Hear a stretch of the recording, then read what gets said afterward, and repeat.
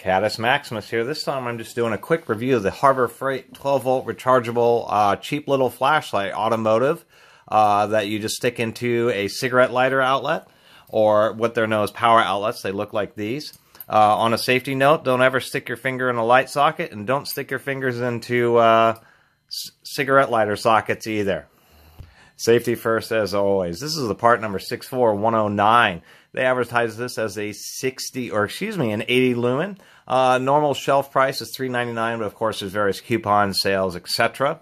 Uh, it's a lightweight, little cheap flashlight. Actually, I was going to compare it because I have this little Nebo high beam here. And uh, this is a similar unit, just a bit more compact and a bit more focused of a beam, although not it, maybe not quite as bright.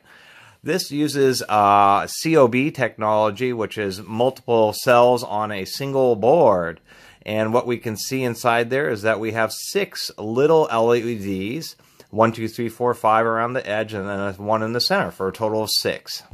And contrary to popular belief, the LED elements actually aren't emitting white light. They're emitting blue light, and then the yellow tinge that you always see on these what LED flashlights is a phosphor. And so the blue LED interacts with the phosphor to produce white light, kind of like a fluorescent lamp.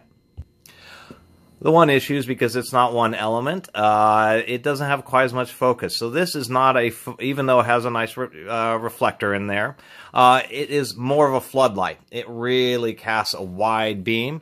If we take a quick look here at just how wide the beam is, you can see it's right next to my hand and light is coming, you know, a lot of light's coming straight off the side. Where if we take the Nebo here, we can see that there's much less light. If, actually, if I compare them both, then you can see the contrast, how much the light, uh, the camera adjusts, and how much the Nebo gets washed out. So it is quite a bit brighter than the Nebo, as you can see there. But the Nebo is more focused. Now, I'm about, say, a foot away from the surface here. There's the Nebo. And it, this Harbor Freight's maybe a little bit brighter, but we can still see the beam from the Nebo. So that kind of gives you an idea of how much of a floodlight this is. Anyway, let's turn these lights back on, turn these back off. I kind of like the Nebo because it actually has a charge function. So when you have it off, everything's just disconnected. And then you turn it for charging or you turn it to actually use the light. This does not have that cutoff functionality. And so the reason they would have that on the Nebo is an attempt to make the batteries last longer. Batteries, you know, any battery technology, whether it's nickel metal hydride or lithium ion, uh, it turns out all of the, unless it's a lead acid battery, and even those, when they're fully charged, you have to reduce them to a low voltage, very low trickle charge. The thing about trickle charge isn't just limiting amperage, it's also having the voltage just barely high enough to actually put power into the battery. Obviously, if your voltage is lower than what the battery is, the battery will try to drive whatever it's connected to, not actually receive energy. But it's just terrible to let any kind of battery just sit there and bake on the charger. Always been a kind of a pet peeve of mine where people are like, "Oh, I don't always want to have the battery ready to go."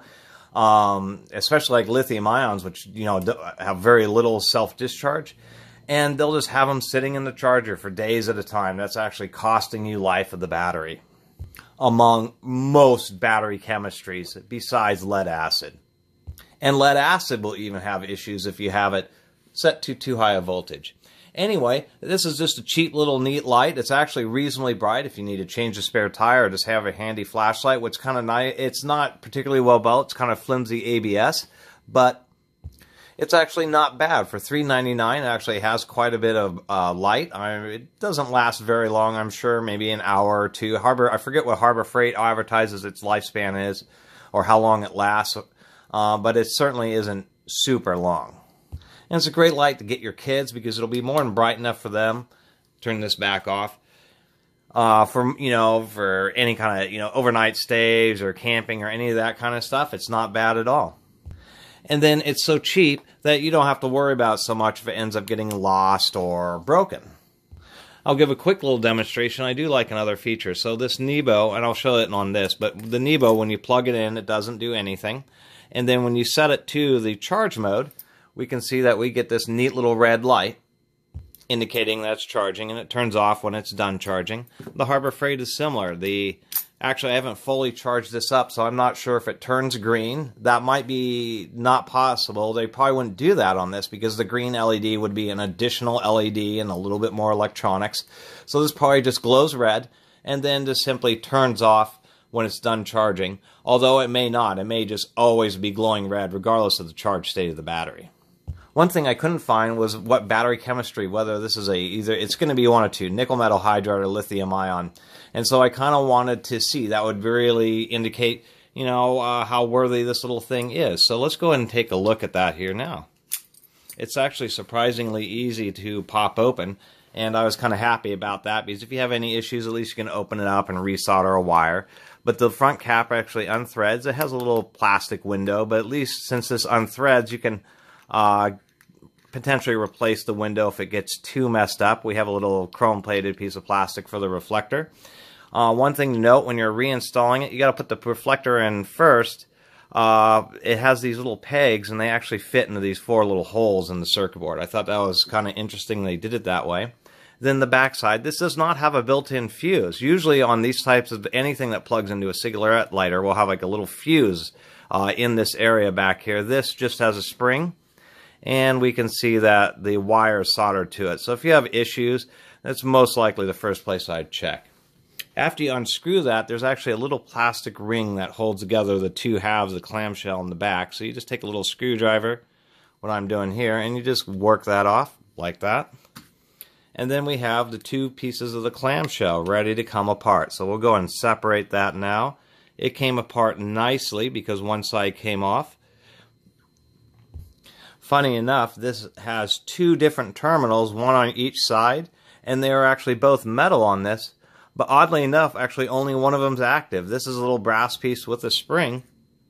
Yet we can see right there that it doesn't contact anything. Only the one on this side is actually providing the charge, which I think is a little bit odd.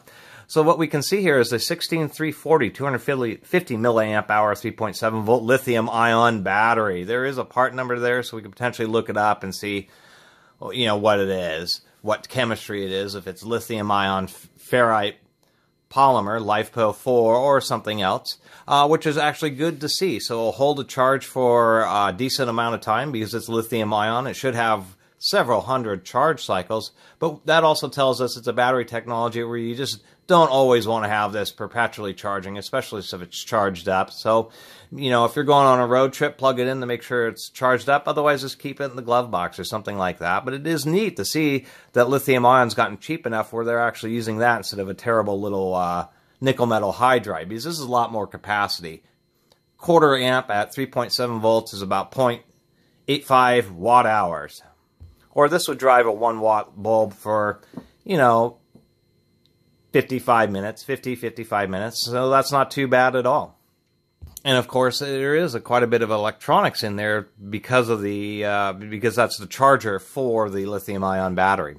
And I didn't mention, but the power switch is actually a physical switch, so it's not like a software button. That would be an issue. Soft buttons always have a little bit of electricity going through them to monitor whether the button's being pressed, rather than just having a physical button that fit, you know, a button that physically disconnects and reconnects um, in that situation, then the power is truly totally cut off. So, which is kind of nice. It'll mean that I'll have less levels of self discharge when it's sitting in storage. So the battery is like a double-sided taped into this half of the housing, and I don't really want to pull this off. Those wires are hair thin. They really don't like to be fiddled with. Uh, we can see that they did try to save some money because they uh, just used the, the posts that align circuit board have just been melted to retain it. There's not even little screws. But overall, for four dollars, that's a pretty neat flashlight. Ten years ago, that this little thing would have been ten bucks.